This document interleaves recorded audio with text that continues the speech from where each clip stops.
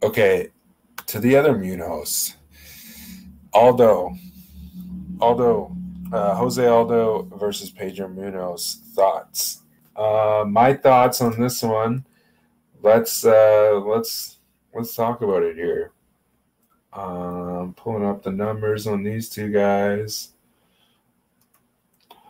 Uh, Aldo is four and five in his last nine fights.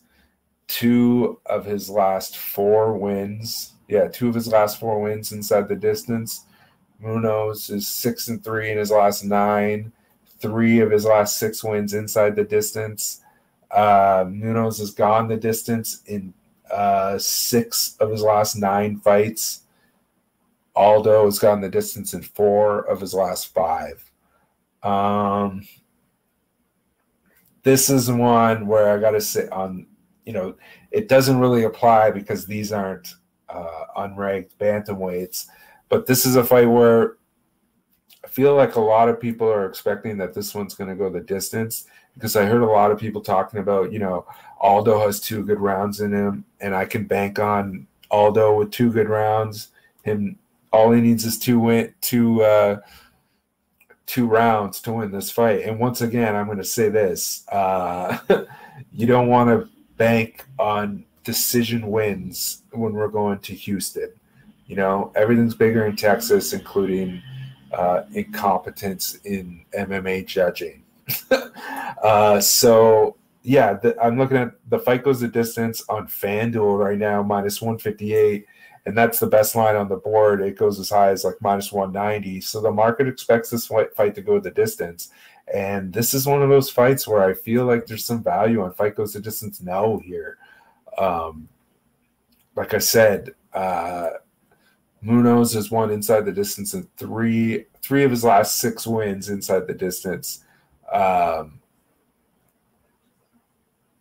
Aldo has gone over the betting total in six of his last nine fights, but he's only gone the distance in four of his last nine. He's lost inside the distance in three of his last nine. Um, yeah, I. This fight comes down to basically is who's going to be able to utilize and endure more leg kicks and we've seen that Aldo he's kind of shied away from the really throwing those leg kicks like he he used to. Uh, he used to do it a lot, and I think he's holding off of them kind of as like self pres self preservation. Uh, but he's going to have to dig deep and find that old chainsaw Aldo leg kick style because Pedro Munhoz does not back down, and he'll go tit tit for tat uh, with leg kicks for 15 minutes with uh, Jose Aldo. And another thing I think is a factor here is going to be in this fight the pressure, the pe- the pressure of Pedro Munhoz.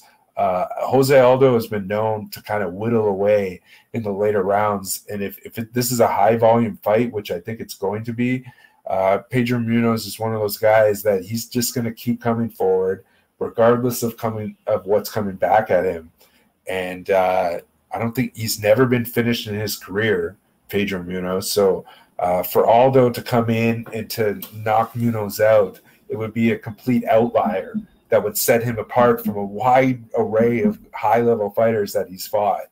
Um, and then on the other hand, uh, Pedro, he has got power in his hands. And so he's willing to step into the pocket.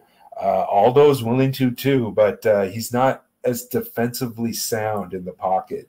So if he tries to go toe to toe with Munhoz, uh, it's kind of like an unstable game, unsustainable game plan. Uh, I feel like Jose at his best when he's he's at his best when he's picking and popping and sticking and moving, getting to the inside and then retreating, being light on his feet, picking his spots. Uh, but you look at Pedro, he's he's content with just standing in the pocket and going shot for shot for 15 minutes. Um, you look at uh, the, his last fight uh, against Rivera, right? Uh, it's the same thing, just going tit for tat with leg kicks. And, you know, over the course of his entire career, he's really, you know, been known for uh, Aldo really been known, like I said, for being having chainsaws for legs, but he's also really, uh, um, you know, he's really kind of. We haven't seen the same the same type of heavy leg kick uh, game since he's moved to bantamweight, really, and uh, it, it's probably not going to be the best way to fight Pedro Munhoz.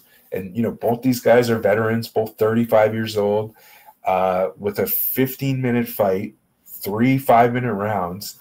Uh, and I keep hearing again people saying, all we need is Aldo to get two out of three rounds. And I'm telling you, you do not want to back a fighter in Houston and have the assumption that all he needs to do is win two of three rounds to get a decision. You know, um, it's just not. It's not. A, it's not good betting strategy, right? It's like it's like you're betting with a bad referee or a bad umpire. Um, so yeah, basically it all comes down to this. With all due respect, Jose Aldo is really good at fighting two rounds. And again, I've heard a lot of people who have handicapped this fight saying He's good for two out of the three rounds in this fight more times than not. And I just got to say, like, look, we're headed to Texas. You can't bank on your fighter to win two of two of three rounds. Uh, you need your fighter to have a chance to win by stoppage in this scenario. It's close fight. I think it's like minus 115 Aldo, plus 105 uh, Pedro. This fight has split decision written all over it.